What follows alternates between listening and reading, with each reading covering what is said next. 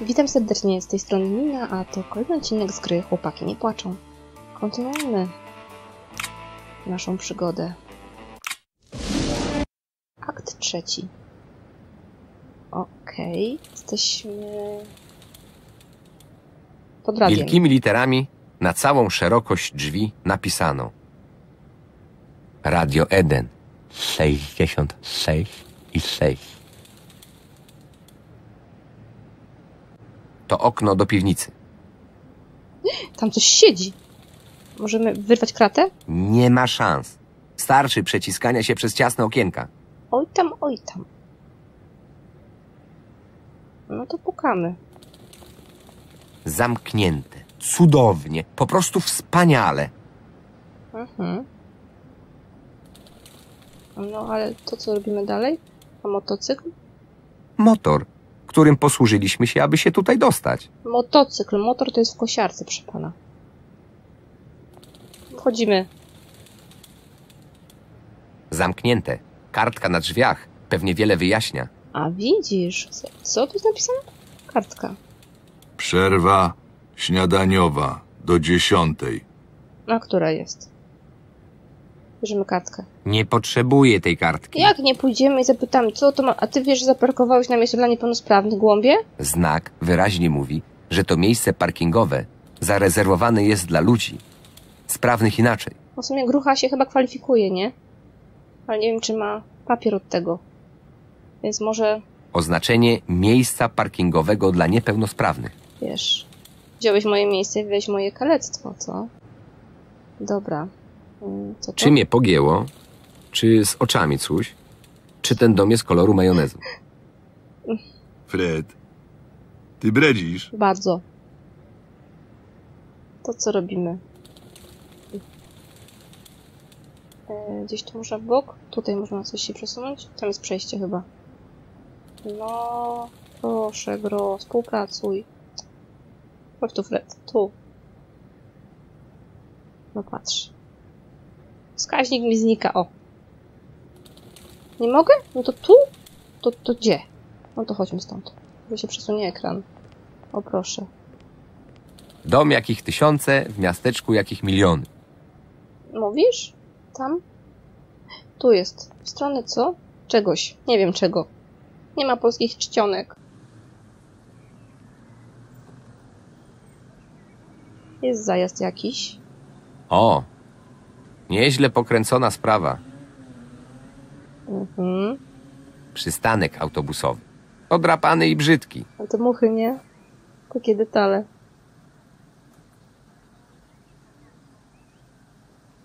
Pitaki. Popatrz na, popatrz na pitaki. Ptaki wpatrują się w nas beznamiętnie. Skąd wiesz, że beznamiętnie? Może są wypchane? Na pewno grucha. Sztuczne kruki, takie ruszające się, żeby odstraszać gołębie. To chyba głośnik należący do lokalnej stacji radiowej. Mhm. No to co? No to, to dalej. Zapraszam panów. Czy to jest jakaś kałuża? Możesz poskakać w kałuży? Nie może. A to co? Tutaj coś Ja jest. to jednak nieźle wygląda. Nie, Fred, w narcyzie, chodź tu. Tutaj jest coś. A nie, dobra.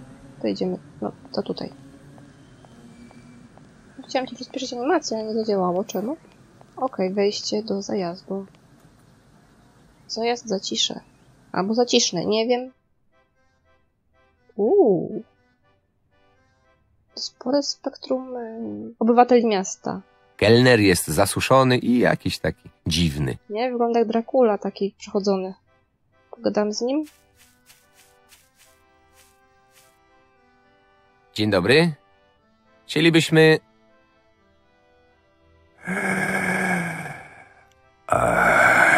Witam. Witam, witam panów. Czekałem na was. Wiesz co? Jak to? O, Tak to, tak to, drogi panie. Nasz wspólny znajomy Niemiec mówił, że panowie tu przyjedziecie. Czekaliśmy. A co ty masz astmę? Jaki Niemiec? Ach, ciszej, ciszej. Po co wszyscy mają słyszeć? Tak, tak, panowie. Mamy wspaniałe muszczki cielęce w sosie beszamelowym.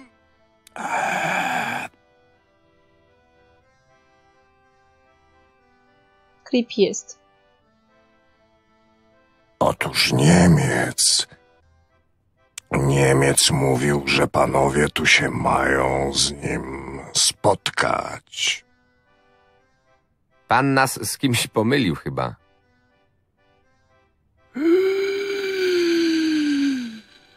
Ależ nie, nie, nie, nie, nie, nie, nie.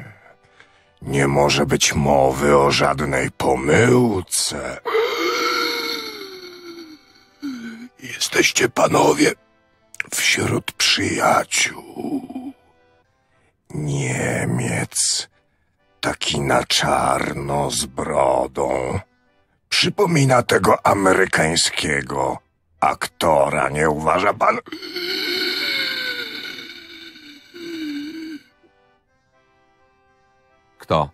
Facet z brodą? Otóż to, otóż to, otóż to. On na was czeka przy kapliczce za miastem. Może pokażę na mapie. To od razu za złomowiskiem. Trzeba tamtędy przejść. Idźcie, idźcie, idźcie, idźcie. Chodźmy zanim umrze, bo będzie na nas. Myśmy go zmusili do rozmowy. Karta dań. Popatrz, Fred. Menu. Menu. Co takiego? Menu. Nie wiesz? Menu. Sam jesteś menu. Weź, a możemy wziąć to menu? Wiesz, wolałbym raczej nie. Jak nie? No zjedzmy coś, skoro już tu jesteśmy. To w ogóle jest y, ciekawy obraz interaktywny. Z rycerzem, No który nie powiem. dał nogę. Bardzo przyjemny landszafcik. Ale to, że ucieka z niego bohater, nie, nie budzi w tobie jakichś obiekcji? Zdecydowanie się nie godzę. Oj tam, oj tam. To lodówka z napojami. Tam znowu coś mrygło, nie? Halo? Proszę pana. Napoje podaje obsługa.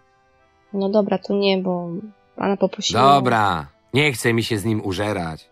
No właśnie. Jeszcze umrze i będzie na nas. Zobaczmy, kogo my tu mamy. To chyba jacyś robotnicy. Pogadamy? Co słychać? Co ma być słychać? Przerwę mamy. Mhm. A gdzie pracujecie? A gdzie pracujemy, ten się pyta.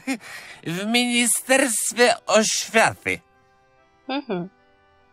Panie, a wyglądamy jakbyśmy byli speakerami w telewizji? Pracujemy na złomowisku. Es. No. Coś jeszcze? A długo będziecie mieli tę całą przerwę? A co? Krótko mieć mamy? Wiesz pan, ja i inżynier Kowalczuk mamy nienormowalny czas pracy. Mhm.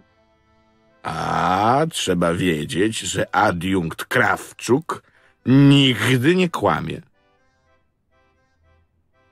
Jeszcze coś? Wzięlibyście się do roboty, co? A po co? Teraz mamy przerwę. A przerwa to rzecz istotna. Służy regeneracji sił witalnych, a także podniesieniu entuzjazmu do czekającej na wykonanie pracy. Razem z adiunktem Krawczukiem teoretyzujemy nad zwiększeniem efektywności pracy. O, Inżynier Kowalczuk ma nawet kilka patentów w tej dziedzinie, musi pan wiedzieć. No, chętnie je poznam. Wzięlibyście się do... No to już chyba w kółko to samo będzie. No szkoda, myślałam, że się dowiem. Wzięliby... Ale ty nie, wy nie wiecie, że do godziny 10 robotnik za piernicza, co ja cię nie mogę, ale przyjmie dwa zamulacze i piździec? A ten to kto? Oj, miałam najpierw go obejrzeć. Przepraszam uprzejmie. U, Halo. Przepraszam uprzejmie. mogę nieuprzejmie przeprosić. To ja przepraszam, Mabuła, ale Uf. jem właśnie śniadanie, przez co jestem nader zajęty. No, ale... mm, A mogę go obejrzeć? Każdy musi kiedyś coś zjeść. No pewnie, ale wiesz. Co mi przypomina, że moglibyśmy w sumie coś zjeść. No to co? Zamówisz coś? Jednak? Nie miałby pan e, chwili wolnej? Przecież mówiłem, że jem śniadanie. Proszę mi nie przeszkadzać w konsumpcji. Ja mam wrzody i bardzo cierpię. No to ja A. rozumiem. To najmocniej przepraszam. A może jeszcze raz? Nie no, poczekajmy może trochę, aż facet skończy jeść. No, faktycznie, gra ma konsekwencje. O, butelka mleka. Nie lubię mleka. Mm, Ale możemy je zajumać? A ja tak. Smaczne jest i zdrowe. Pij mleko, będziesz wielki. Pij mleko, będziesz chory. Nie wiesz, że większość ludzi nie trawi laktozy po pewnym okresie? Poza tym człowiek jest jedynym ssakiem, który nadal pije mleko, próbuje pić mleko, będąc dorosłym. To stoliki w głębi. O Boże. O, co to? Ciekawe, kto tu zostawił ten spodek? Wiem, nalejemy kotu mleczka do Pewnie spodeczka. autorzy. Znam się na tym grucha, możesz mi zaufać. To czekaj, to możemy to zabrać, skoro to autorzy. O nie. Nie, nie jego, chciałam spodek. A widzisz, że można? Czyli mamy trochę rzeczy. Mm, tu więcej chyba nic nie będzie, że tak oblecimy. Możemy jeszcze raz z nim pogadać? I co wam powiedział? Niemiec? Nie straszy twój głos, facet. Nic szczególnego. Postaw fajki. To wy się z nim w ogóle nie widzieliście, czy co? No jeszcze nie, nie, nie zniknęliśmy stąd. No, niespecjalnie właśnie. Ale musimy się wdawać w tę dyskusję. Musicie się z nim pilnie zobaczyć. Eee, Zdecydowanie tak. Ciekawe, że aktor głosowy stwierdził, że będzie w taki sposób akurat mówił. Creepy. Proszę pana, tam nie ma wstępu. Tylko dla gości zajazdu. Dobra, chodźmy stąd, bo on umrze. No dobrze, dobrze, po co od razu te nerwy? No, jeszcze ci pikawa strzeli. Dobra, wychodzimy stąd, bo ten facet jest creepy. Matko, jakie dyskusje. O, a to kto? Kobieta. Chyba stoi tu już jakiś czas. No. Że muchy obsiadły. Pogadajmy.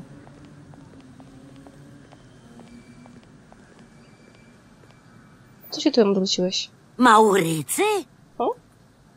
Słucham?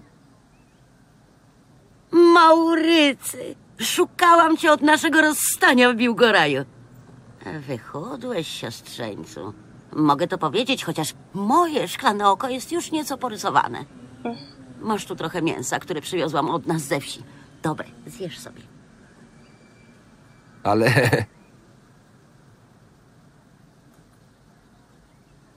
No, jak dają, to rozumiesz bierz. coś z tego? Wzięła cię za kogoś innego. Klasyczny chwyt. No i nie... Nie sprostowałeś tego, tak? Dobra, gra się wyłożyła, więc musiałam powtórzyć to wszystko. Dobra cielęcina, z naszej wsi. Symes, zobaczysz Maurycy. A ciocię Hale, jeszcze pamiętasz? Jak ze stryjkiem Ludwikiem prowadziła ten zakład szewski. Pod Kołomyją.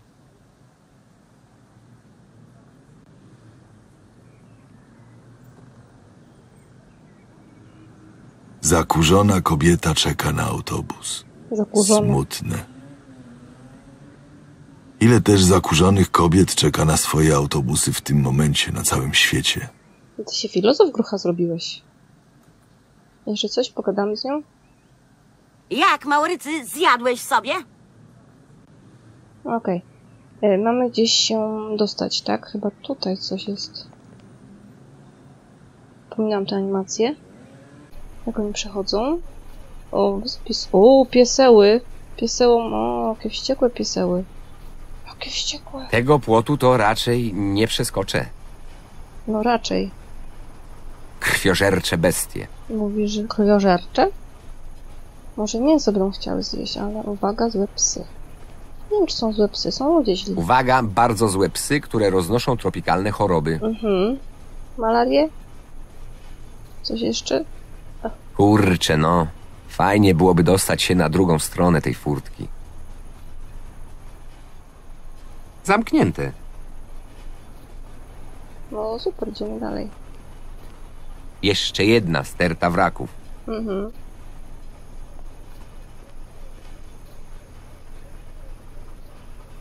Tutaj coś jest jeszcze, jakieś przejście. Co tu się dzieje? Co to za protest? Pole. Pole jak pole. Na poprzednim ekranie było takie same. Nie, było, na poprzednim było złomowisko. Kurczę, podejrzany gość. Tu wszyscy są podejrzani. Rolnicy blokują autostradę. Chleba i dżemu. Autostradę. Pewnie blokują drogę. Myślałam, że na pieknik Kto? przyszli. Tych troje. Gruszki na wierzbie. To są gruszki na wierzbie. Wierzba jaka jest, każdy widzi. Lub może sobie zasadniczo wyobrazić. No, O matko. Genialne. to nie wymaga komentarza, uwierz mi. Jak nie?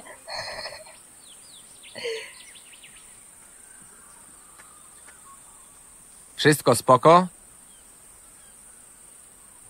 Dziękuję. Blokujemy. Jak tam się udaje blokada?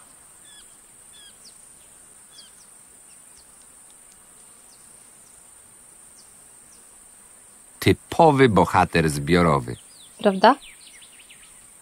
A te płonąca sterta opon to po Nieźle, co? na każdej demonstracji muszą palić się jakieś opony. I komu nie smrodzą Ej, tak naprawdę? na tej stercie jest też para prawie dobrych No gumiaków. to bierz. Możemy wziąć? Nie sądzę. Wiecie co, chłopaki, rozejdź, rozejdźcie się trochę, bo ja muszę... Tu jest co, rów? Przydrożny rów. Nic szczególnego. Dobra, tu jeszcze ten pan jest do pogadania. Czarnoziem or something.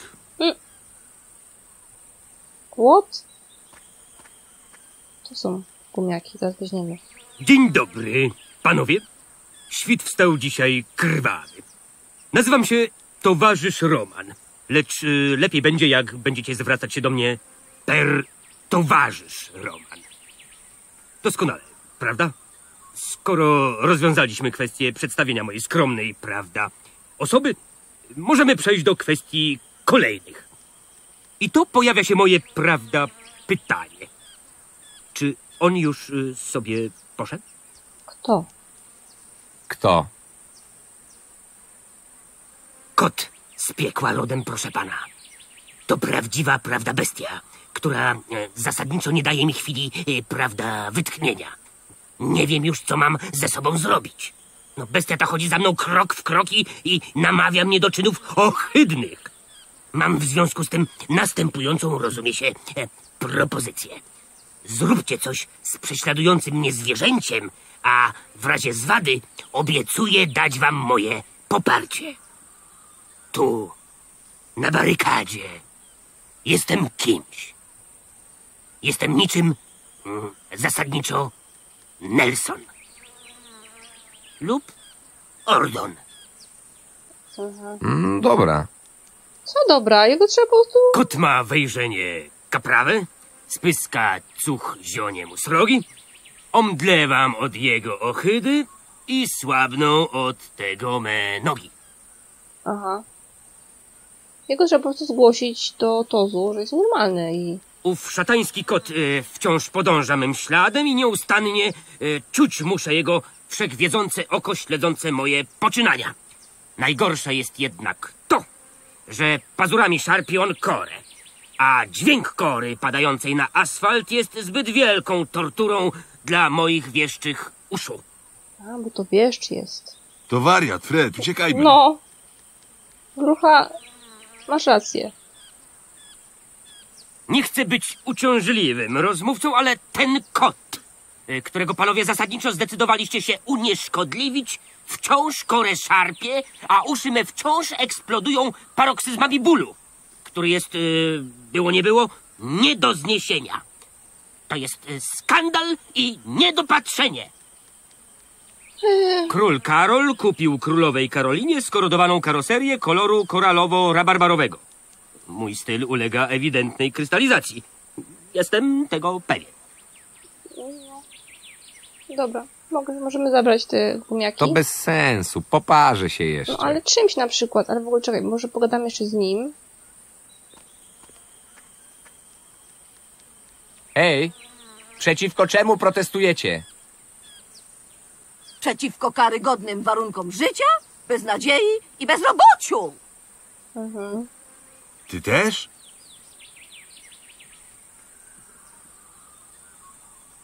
A ten? Wszystko spoko? A, dziękuję.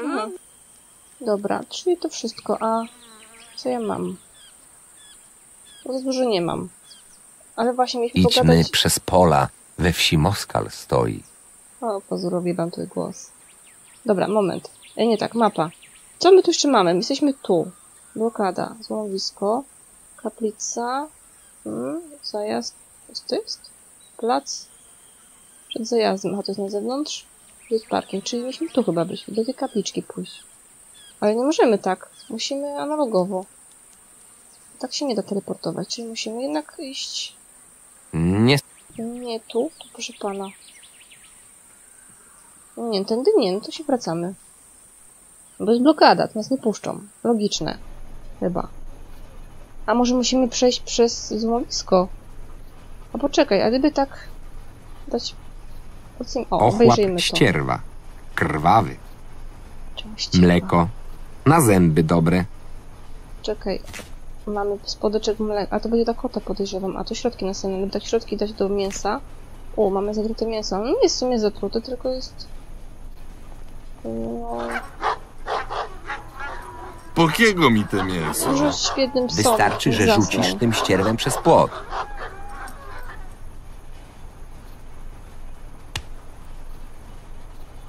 I pójdą spać, a my wyjdziemy i przejdziemy przez... O Jezu. Jedne psy. O, Zajebiście. no właśnie nie. Nie lubię cię już. Dojdziemy, ale to jest zamknięte, to jak to, to co to zmienia? Ani drgnie. No to no, oczywiście, że ani drugi nie, bo trzeba coś wy- wymyśleć. I teraz co możemy zrobić? Bo teleportnąć się nie możemy. No to nadal na tą blokadę? Bo tam coś może trzeba zrobić, tylko po prostu nie mamy... O, kto, a, aha, tu jest ten kot! To jeden z tych kotów, No. których nie da się pokochać. Jak się nie da, zaraz mu damy. O. A. Cicho. Ty sierściuch weź przestań, bo się zaplujesz jeszcze. Czekaj, oj, nie to. To miałam damy, zaraz mleczko. Masz. Nie, Kiedy indziej. nie na pole do kota. Kot. Daj mu mleczko. Kot cię wyśmieje. No widzisz. Możemy go zabrać? Teraz, jak chlipie mleko, nie wygląda wcale tak groźnie. Tu jest jakaś pani. Energiczna babka. No. Mamy tutaj coś fajnego? Nie jestem przekonany co do słuszności tej blokady. Mm. Dobra. Gadamy z nią? Gadamy. Partia Wartości Pracy. Mhm. Witam szanownych panów. Widzę, że leży też wam na sercu los tych biednych ludzi. Mm. Których? Tych tam. Dzień dobry. Nazywam się Wojarska i reprezentuję Partię Wartości Pracy. Dzień dobry, jestem Fred, a to jest mój towarzysz Grucha. Jesteśmy ym, biznesmenami z wybrzeża. Aha. No coś jeszcze? Kraj potrzebuje waszych głosów. Hmm. Jak to? Właśnie tak. Czeka was świetlana przyszłość, panowie. Dzięki tym i podobnym inicjatywom społecznym uda się nam stworzyć nowy porządek w tym kraju. Chodźmy stąd, to jakaś wariatka. Wpierw wieś, potem miasto, a wreszcie opanuje województwo. Ale, że ty sama? Podbijesz świat, galaktykę. Spytam o to tylko raz, więc proszę o możliwie sensowną odpowiedź. Czy pani znajduje się w tej grze w jakimś konkretnym celu, czy to jest tak, że scenarzysta popuścił wozę fantazji? Proszę wybaczyć koledze. Mamy za sobą już dwa akty tej debilnej przygody i natknęliśmy się na zbyt wiele postaci, które tylko marnowały nasz czas. I jeszcze te kretyńskie dialogi. Nie muszę chyba pani opowiadać. Ależ proszę się nie przejmować. To naturalne pytanie w waszej sytuacji. Muszę was niestety zmartwić. Jestem w tej grze absolutnie od rzeczy. Yy, coś tak yy, jak ten dziadek z gołębiami, którego spotkaliście w pierwszym akcie. Absolutnie od rzeczy. Zapchaj dziura, tak? Czyli, że znowu straciliśmy czas na bezsensowną rozmowę. Z całym szacunkiem oczywiście. Nie ma co się martwić. W tej grze trochę jak w życiu. Nikt nie chce partii wartości pracy. Ale my jesteśmy i sami się obronimy. Proszę, oto ulotki. Okej, daj nam ulotki. Nie liczyłbym, że to się jakoś szczególnie przyda. Może. Coś jeszcze pani powie? To wojarska. Taka jedna. Nie chcę już z nią rozmawiać. Ostatnia rozmowa była ponad moje siły. Na pewno? Nie chcę. Dobra. To co, bierzemy kota? Idźmy. Tu, proszę panów, do, o przejście tu. Chcę kota wziąć. Co o tym sądzisz, Grucha? Sądzę, że typ po drugiej stronie monitora cię obraża. Hej, chłopaki. Znowu przerwa. Na ogarnięcie kotów. O Boże. To ulotka Ligi Ludzi Pracy. O, my możemy zgasić gaśnicą. Czekaj. To jest bardzo dobry plan, tylko czy nam pozwolą? A tutaj coś leży? Gdzie tu leży? Pokaż, pokaż, pokaż. Nie. To coś... Co to jest? O, ale co to jest? A, śrubokręt, tak? Kawałek śrubokrętu. Dobra, czy możemy... A, z tym pasem pogadać, bo już kot przestał drapać. Czuję Quest ulgę. dajemy. Mogę oddychać swobodnie i, co nawet najważniejsze jest w zasadzie, znów dane jest mi nasłuchiwać jak onegdaj. Tak. Proszę cię bardzo. Czuję, że mój prześladowca dał mi zasadniczo spokój. Macie moje pełne poparcie i lobbying? Cokolwiek zdecydujecie się robić w obrębie tej blokady. Okej, super. Czyli ja zabieram to. I chcę... A, to było po to, żebym mogła zgasić, żeby... Okej, dobra, taki jest mój plan. Gaszę. Po prostu nie. Jak nie? Bierz te gumiaki, cokolwiek, do, czegokolwiek będą. Dawaj. To bez sensu. Nic się nie poparzysz, dawaj. Prawie dobre gumiaki. No, chcę je wziąć. Albo potrzebuję grabie od niego, znaczy widły. Mogę poprosić o zgaszenie hałdy? Kota da się li tylko unieszkodliwić. One zawsze wracają. No, nie zawsze, nie zawsze.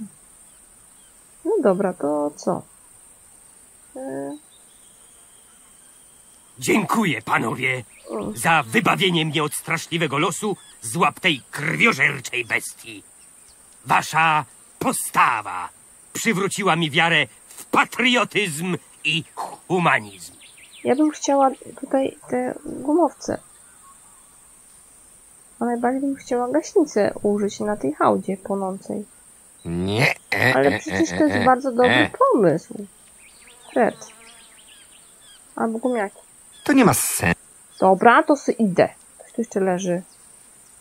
Środki nasenne. Czemu one tu leżą? Wypadły ci? Ja nie rozumiem.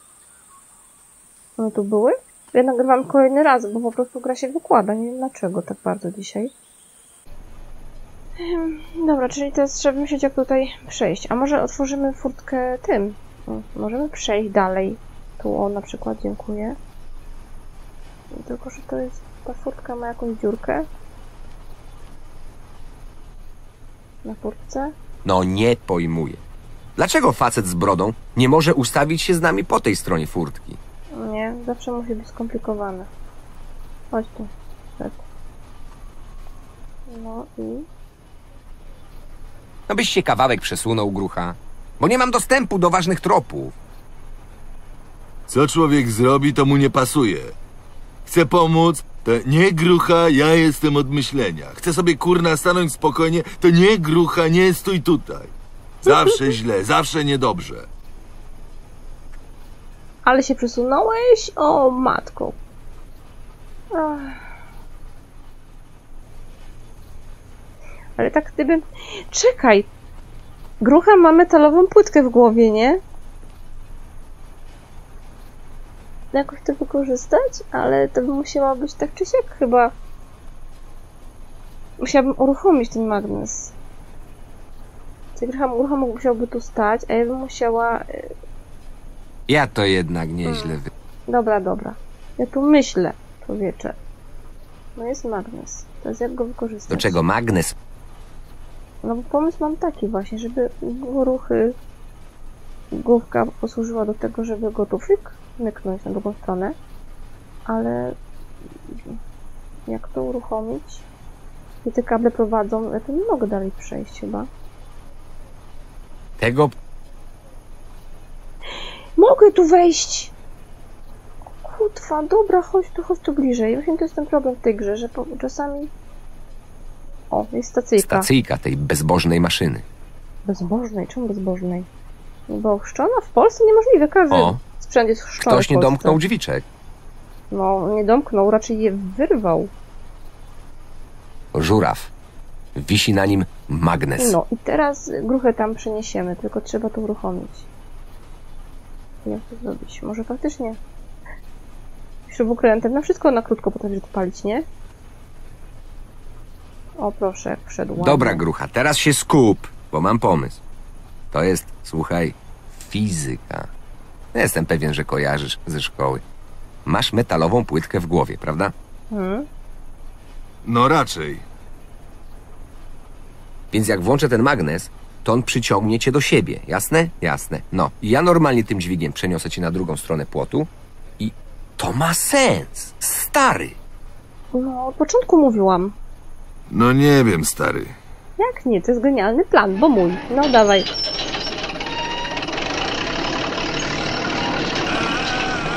O Jezu. Już podejrzewam, że mi to by wyrwało, oderwało ją z głowy. Najprędzej. Ale Chciałeś mnie zabić? skąd ty to wziąłeś? Ejejejejej. Spokojnie. Od razu zabić. No widzisz. No i co? To się nazywa współpraca. No tak, to się nazywa współpraca. To co?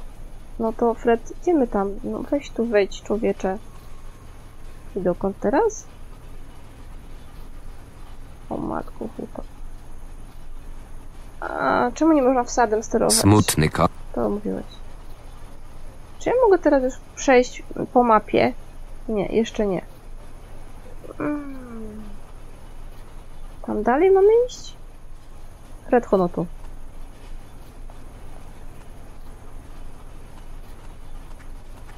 No prawdopodobnie musimy pójść po prostu tu. O matko, no nie mogłam ich przesunąć w ogóle. No to wio, idziemy do kapliczki. Spotkać się z Niemcem. Jak to pięknie. Dzień dobry. Chwalmy pana, udało nam się spotkać. No z niemałym trudem. Kurczę! Mógłbyś nie pojawiać się tak niespodziewanie. Niezbadane są wyroki boskie, powiadam, niezbadane. To, że pojawiam się w taki, a nie inny sposób, zależne jest nie tyle ode mnie, ile od sprawowanej przeze mnie funkcji. Nie ma lekko, Fred. Dobra, przejdźmy do rzeczy. Umowa była taka, że zrobię dla ciebie co chcesz i mogę żyć dalej, tak? Tak właśnie. Sprawiedliwy i dobry jest nasz pan, powiadam. Sprawiedliwy i dobry. No więc, co mamy zrobić? Widzisz klasztor, prawda? W jego katakumbach znajduje się pradawny skarb. Relikwia, której nie można oglądać. Relikwia, której potrzebujemy. Ej, skoro jest ona wam tak potrzebna, to może byście ją sami sobie wzięli. Pan zlecił ci zadanie, a ty wątpisz w jego sens, bluźnierco! Musisz przynieść tu relikwię, bo w przeciwnym razie będziesz się smażył w piekle. Piekle! Ejejejejej, spokojnie. Przynieś tu dziś pod wieczór szkatułkę z relikwią, a będzie, jak to mówicie, git, gitara, nara. W wykonaniu tego zadania pomoże wam pewna dziewczyna imieniem Aldona. Znajdziecie ją w lokalnym zajeździe. Tylko ona może wam pomóc. Tak zatem... Żegnajcie! I zrobił pół. Dziwny typ. No zdeczko dziwny. No dobrze, ale tutaj skończymy ten odcinek, bo nie wiem ile ma. Muszę go pomontować, posklejać z kilku części. Tak więc to tyle na dziś. Do usłyszenia w kolejnym i chyba ostatnim odcinku z tej gry. Pa, pa!